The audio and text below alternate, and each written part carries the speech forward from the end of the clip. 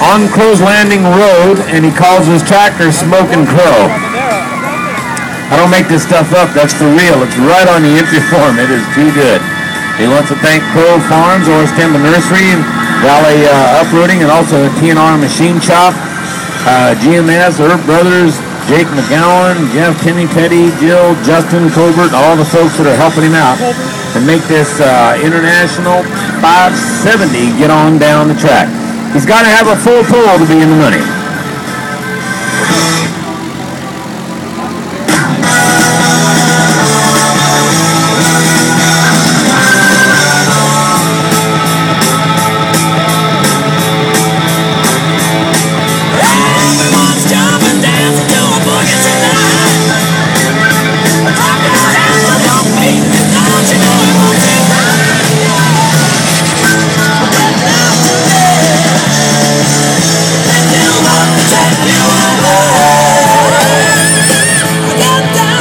Her up and let her go and something.